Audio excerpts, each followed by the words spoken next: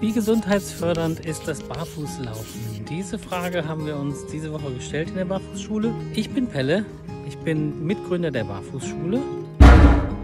Das Problem ist, ich glaube nicht an Gesundheit und Krankheit. Also schon, dass es sowas gibt, aber diese Einteilung ist mir zu einfach in links oder rechts. Und ist Gesundheit jetzt nur die Abwesenheit von Krankheit oder vielleicht doch was anderes? Es ist am Ende nur ein Begriff. Ich glaube viel eher an Balance, ob Dinge in Balance sind.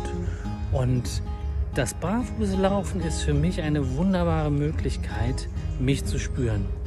Ja, tatsächlich mich zu spüren. Wenn ich hier auf einen spitzen Stein trete, dann spüre ich ja nicht den Stein, sondern ich spüre mich, meine Nervenenden an meinem Fuß. Und das gibt mir die Möglichkeit zu überlegen, wie reagiere ich auf Situationen.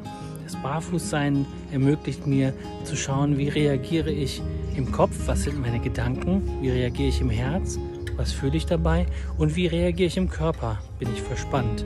Habe ich Schmerzen? Und deshalb finde ich, ist das Barfußlaufen eine gute Möglichkeit zu üben, wie reagiere ich auf Situationen und auf Dinge. Und das ist wichtig auch im Leben. Wie reagiere ich auf meine Beziehungen? Wie reagiere ich auf äh, Situationen, die mir im Leben geschehen?